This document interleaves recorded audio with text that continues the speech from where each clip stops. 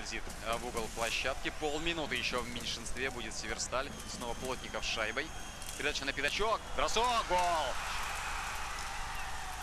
Это Стафан Кронвал забрасывает ворота Северстали, продолжая традицию, когда бывшие игроки Северстали забивают. В этом сезоне уже забили практически все, кто играл против Череповецкого клуба. Ну и Кронвал, как видите, не исключение, забивает в большинстве. Это его четвертый гол в нынешнем э, сезоне. Результативнее даже, чем в Северстале играет швед. Ну и тут же напомнил о себе всем череповецким болельщикам. Заставил еще раз взгрустнуть по поводу э, потери игрока такого класса.